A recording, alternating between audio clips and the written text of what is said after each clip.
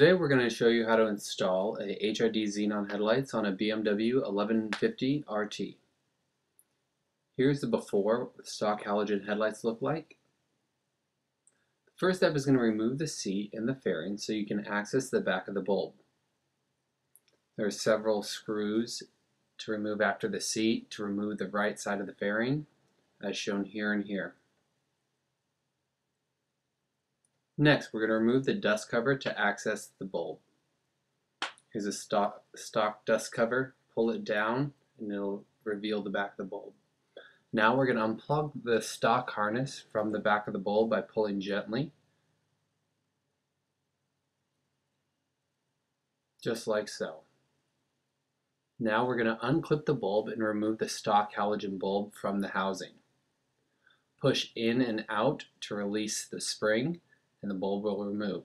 Now we're going to drill a one inch hole in the dust cover to thread the wires through the back of the hole to connect to the ballast on the outside of the housing. Now we're going to pull the HID wires through the newly drilled hole and secure with a grommet. Next, install the HID bulb into the same stock headlight housing using the same clips. Make sure the bulb is securely in there. It should go one way then secure. Now plug the power and ground wires into the stock BMW harness. The red goes to the yellow and the brown goes to the black. Now reinstall the dust cover and connect the two wires from the bulb to the ballast. It only goes one way and it looks like this afterwards. Now find a secure location to mount the ballast and zip tie all the wires making sure nothing is left loose. Here's where we chose to do it on this one. Zip tie the wires to make sure it is out of the steering and secure and not going to rattle loose. Now reinstall the fairings, turn on the lights, and enjoy seeing further and living longer.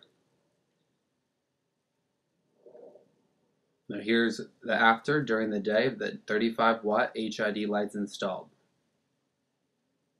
Here's a side-by-side -side comparison and during the night you'll be able to see it even more, about three times brighter.